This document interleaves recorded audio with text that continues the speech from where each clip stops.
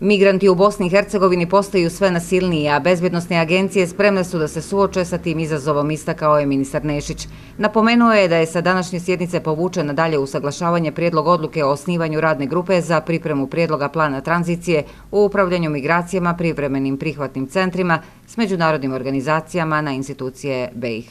Tačka dnevnog reda što se tiče migracija je povučena sa dnevnog reda na dalje usaglašavanje.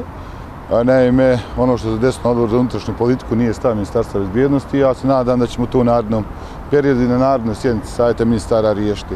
Što se tiče problema s migrantima, oni su tu, oni su, uh, nisu nestali.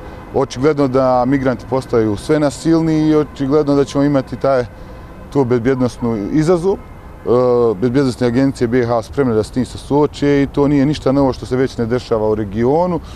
Znači, očigledno da u sve to su sada ruku miješali različiti interesi, migranti imaju interese svoje različite grupe koje se između sebe sukobljavaju i to je nešto, novi vid kriminala koji je prisutan na teritoriji BiH. Na prijedlog Direkcije za evropske integracije usvojen je i godišnji izvještaj o Bosni i Hercegovini koji će biti dostavljen Evropskoj komisiji. Predsjednik Evropske komisije Ursula von der Leyen izjavila je danas da je Evropska unija započela pristupne pregovore sa Albanijom, Sjevernom Makedonijom, Ukrajinom i Moldavijom, a da bi BiH mogla da bude sljedeća na redu. Navodeći da ga niko ne može ubijediti da su Ukrajina u kojoj bjesni rat i Moldavija ispred BiH, Nešić je konstatovao da to govori o politici Evropske unije prema BiH. Sit sam više zahtjeva Evropske unije i njihovi stalno postavljanja uslova pred BiH. Njima je potpuno jasno da BiH može biti koliko toliko uređena zemlja ukoliko bude dio Evropske unije. Ne može me niko ubijediti da je Ukrajina, Moldavija ispred BiH.